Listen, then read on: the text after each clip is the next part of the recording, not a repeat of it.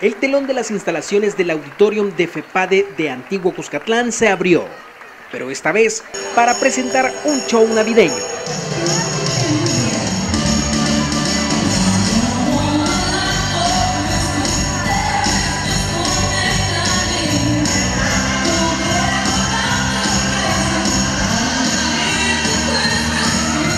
Los protagonistas son niños estudiantes de distintos kinder privados de San Salvador.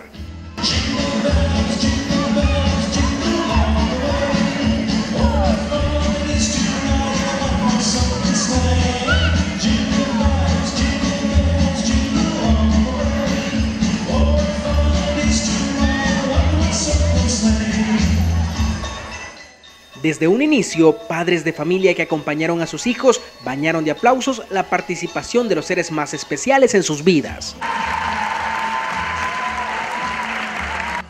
Entre estos pequeños artistas destacó Roberto Presa, hijo de nuestro director de noticias.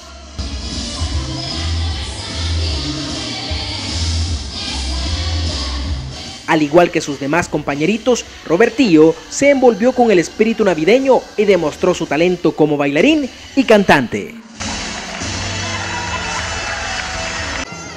Vamos, diga, feliz Navidad, dígale. Feliz Navidad.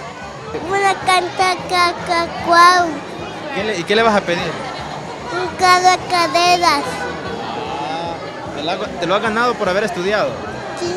Creo que es importante respaldar este tipo de iniciativas porque los niños van creciendo en esa ilusión, en esos sueños y eh, pensar en un Santa Claus, pensar en las Navidades es eh, apoyar también ese sentimiento tierno y puro de la niñez. Con este espectáculo se rompió el protocolo de graduación de estos pequeños, pero siempre se les entregó su diploma. Buscamos que los chicos puedan desarrollarse integralmente, que puedan trabajar en equipo, que puedan ser autónomos, que puedan ser independientes y que a la vez puedan eh, quitar ese temor al escenario que pueda haber, puedan desarrollarse completamente y eso es como parte de la filosofía que dentro de nuestros kinders estamos buscando. Los reyes del lugar llevan esta bonita experiencia y van encaminados a un nuevo reto de educación. ¿Y ese diploma por qué te lo dieron? Porque me voy a graduar. Vas a ir al colegio ya.